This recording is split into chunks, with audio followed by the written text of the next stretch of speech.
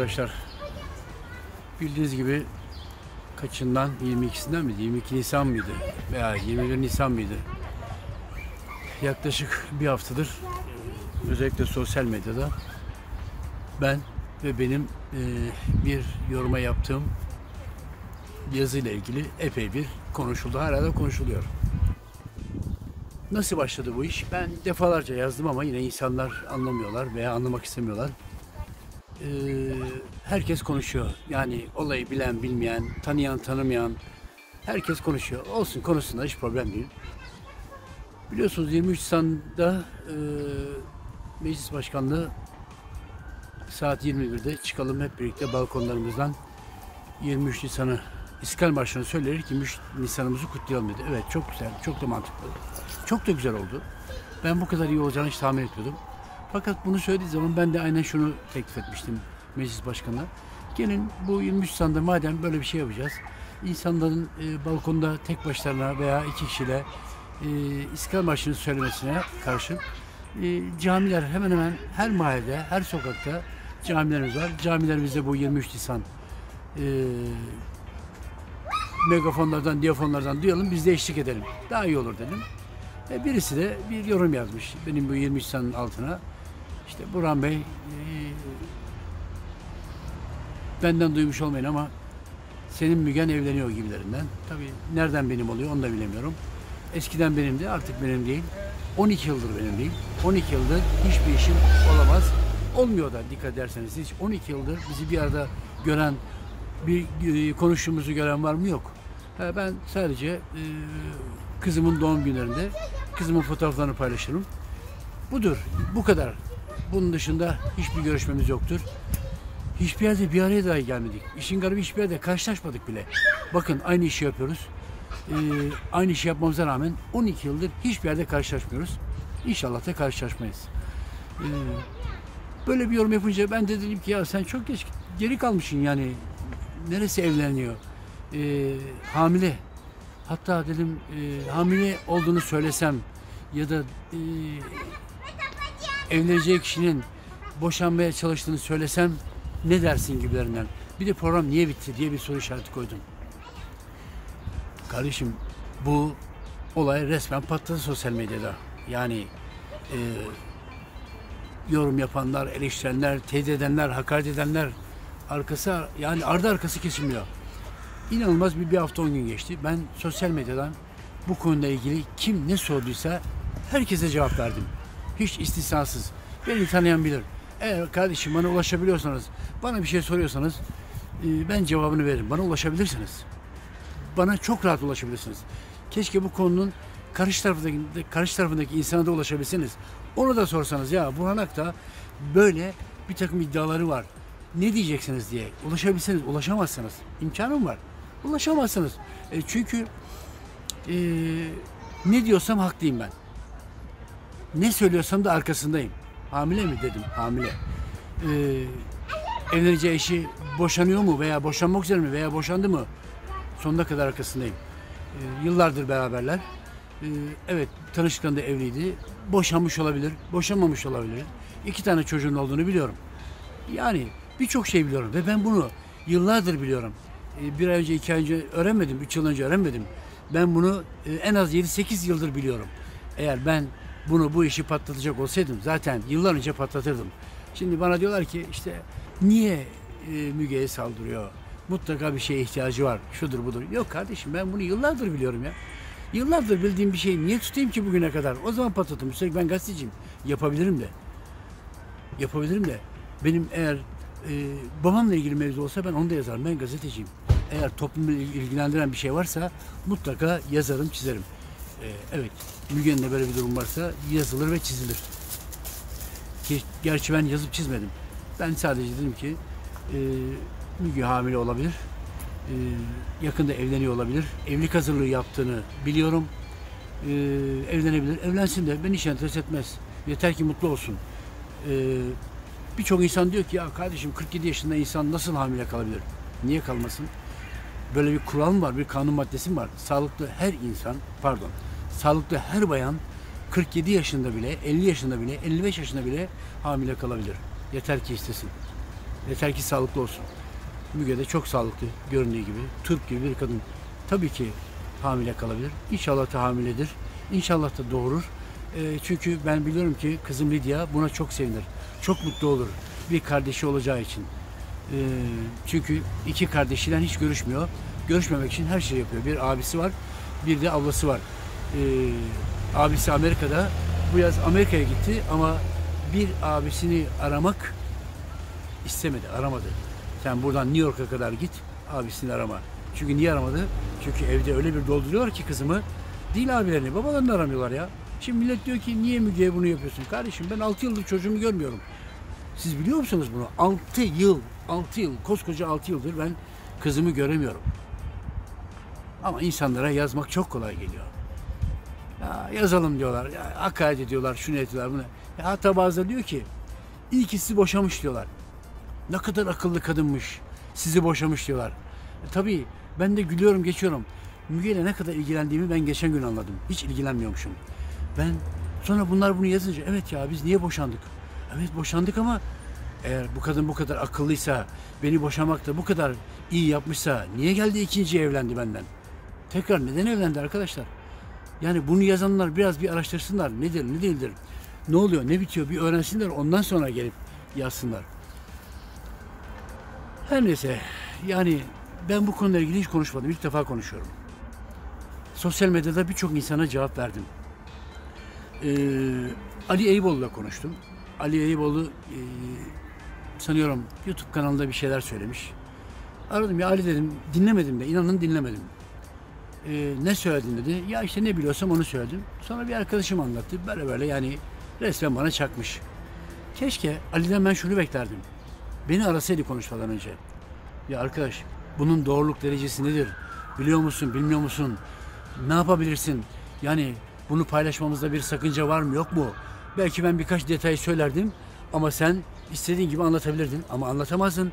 Çünkü koltuğundan olurdun. Milliyet Gazetesi'ndeki yerinden olurdun. Kolay değil. Daha önce de yıllar önce de buna benzer bir şey yazmıştı ve neredeyse kovuluyordu Ali İvoğlu.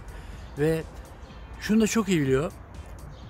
Sonuçta geldi benim kitabıma laf attı. Dedi ki ben ona yazma dedim. Ali'cim sen bana hiçbir zaman bu kitabı yazma demedin. Keşke bu kitabı yazma dedim diyene kadar bizim boşanma nedenimizi e, neden kaynaklandığını açık açık anlatsaydım. Evet kardeşim bu Burhan Akta 2008 yılında Müge Anlı'dan boşandı. Boşanma nedeni de buydu. Şu adamın yüzünden boşandı. Filanca olaydan dolayı boşandı demeni beklerdim ama bunu diyemedin. Keşke gazetecilik yapıp kimsenin diyemediğini deseydin. Ondan sonra bir de Yüksel Aytuğ. Yüksel Aytuğ konuşmuş. Yüksel Aytuğ'u da mahsus aradım. Çünkü aynı şirketteler. E şimdi Yüksel Aytuğ gelip de Müge Anlı'ya e, bok atamaz. Söyleyemez. Hiçbir şey söyleyemez. Aradım. Ya dedim ne zaman konuştun? Ya dedi Burhan'cığım dedi geçen gün konuştum. Ne zaman konuştun geçen gün? E, yayından sonra konuştun dedi. Ya dedim Yüksel'cim e, Müge bant yayın yapıyor.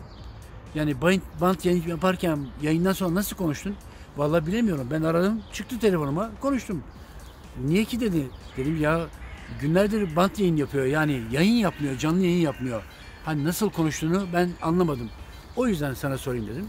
Ve ona da anlattım neler olduğunu, ne bittiğini. Her şeyi anlattım, şok oldu. Ya Burhan dedi çok kötü oldum dedi. Ben de bir çocuk babasıyım, çok kötü oldum dedi. Ben hiç bu kadar tahmin etmiyordum dedi. Vah vah dedi yani o kadar üzüldüğünü anlattı ki bana. Ama bakıyorum ertesi gün yine çıkıyor işte Burhan Aktağ'la konuştum şudur budur falandır filandır. Yine aynı şeyler. E tabi yani bu her baba yiğidin harcı değil. Eğer gazetecilik yapacaksanız sonuna kadar yapacaksınız. Doğrular neyse onu anlatacaksınız. Hem e, Yüksel hem Ali. Bu konuda içerledim. Sisi de aradı beni. E, Sisi de aradı. E, mesaj yazdı. Konuşalım konuşalım ama konuşmadım. Konuşabilirdim de. Ben kimseyle konuşmadım. He, telefonda birkaç tüyo verdim. Ali'ye verdim. Yüksel'e verdim. Bu kadar. He, Seyhan Soylu başkalarına ben, ben sosyal medyadan cevap verdiğim için bir takım e, insanlar sosyal medyadan benden bilgi almaya çalıştı. E, Seyhan da bu sosyal medyadan kimlere cevap vermişsem birilerini ya kendi yazdı e, sahte bir isimle, fake bir isimle ya da bir arkadaşına bir fake bir isimle yazdırdı. E, o sordu ben cevap verdim. Sosyal medyada bana kim ne soruyorsa hepsine cevap verdim. Bir tek e, hamileliğin nereden öğrendiğimi söylemedim. O bende. Bir de kimle birlikte olduğunu söylemedim. O da bende. Ben de yeri ve zamanı geldiği zaman mutlaka hepsini anlatacağım arkadaşlar. Ama şu an yeri ve zamanı değil. Bana diyorlar ki vay sen e, işte e, Müge ikisini kapının önüne koydu. Evet koydu tekrar yine geri aldı. Herhalde acıdı ben kapının önünde köpek gibi böyle havlamaya başlayınca veya e, kıvranmaya başlayınca beni aldı. Ya bana bunu söyleyene kadar sorsanıza niye aldın tekrar? Niye Burhan Aktar'la tekrar evlendin? Bunu sorsanıza hiçbir şey bilmiyorsunuz arkadaşlar. Hiçbir şey bilmiyorsunuz. Müge Anlı bugün Müge Anlı olduysa çok büyük emeğim var. Çok büyük emeğim var. He, diyeceksiniz ki onun başarısı mi? Evet, onun da başarısı. Çok akıllı. Başarılı. Ee, bugün annesine yapmadığım kalmadı. Kardeşlerine yapmadığım kalmadı. Ama ben hala çocuğumu göremiyorum. Hala çocuğumu göremiyorum. Ne kadar daha göreceğim bilmiyorum. Diyorlar ki ya çocuğunuz 18 yaşına geldi, 19 yaşına geldi. Artık aklı başında, aklı başında sizi görebilir diyorlar. Bu çok sorulan sorulardan bir tanesi. Ama bilmedikleri şu var. Müge Anlı 35 yıldır babasıyla görüş, pardon 25 yıldır babasıyla görüşmüyor. Niye görüşmüyor? Kendisine sorun ben söylemeyeyim. İki kardeşini de görüştürmüyor. Demek ki bu evde bir aile, babayla ilgili babaya karşı bir sıkıntı var. Yani ben tabii kızımın geleceğini de düşünüyorum. İleride ne olur ne biter. En çok ihtiyacı olduğu zamanlarda ben yoktum yanında. Çok üzülüyorum. Bir insanın çocuğundan ayrı kalması kadar kötü bir durum yok arkadaşlar. Ya arkadaşlar Müge evlenmiş evlenmemiş benim hiç umurumda değil ya.